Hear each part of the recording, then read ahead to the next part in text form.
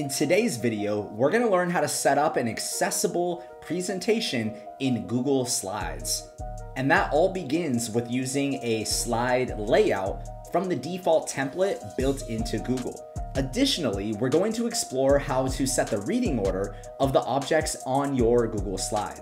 Welcome to the Accessibility Guy channel. My name is Sean Jordison and let's jump right in. I've just created a brand new Google Slides presentation. And the very first slide that I see here has uh, the ability to add a title and a subtitle.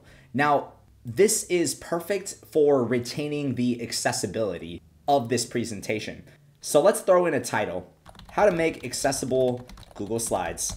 And we'll say by Sean Jordison, that's me. And now what I wanna do is I want to create a new slide based on the layout. So it's very important that you use these built-in layout features to maintain the accessibility. In this example, I chose one with a title and one that has two columns. Additionally, at all costs, you want to avoid the use of adding text boxes. This will ruin the accessibility of your presentation the content will not be read by a screen reader, and it's going to cause a lot of pain and suffering in your life if you go down this route. So please do not insert text boxes. Simply find a layout that works with what you're trying to display. That might be one column with text. That might be, um, you know, a title only or a big number.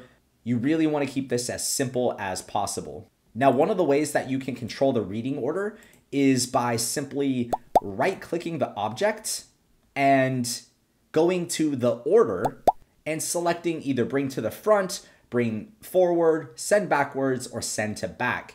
Now, one of the problems with the reading order is that's about all of the options that we have. There's no other option to set our reading order. The only real method I have seen for testing the reading order from within a Google slide is by simply selecting the thumbnail and then pressing the tab key on our keyboard and that will take you to the very first element on the page that will be read.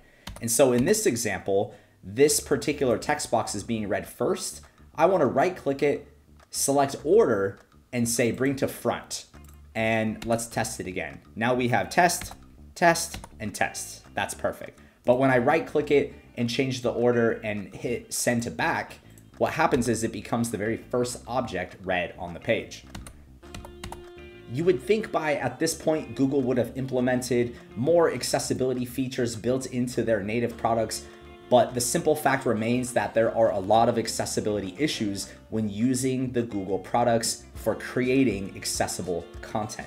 In today's video, we learned how to create an accessible slide theme and how to change the reading order using Google Slides. As always, I can be your personal accessibility expert. Thank you so much for joining me today. And don't forget to check out the link in the description to find out how I can help you get accessible.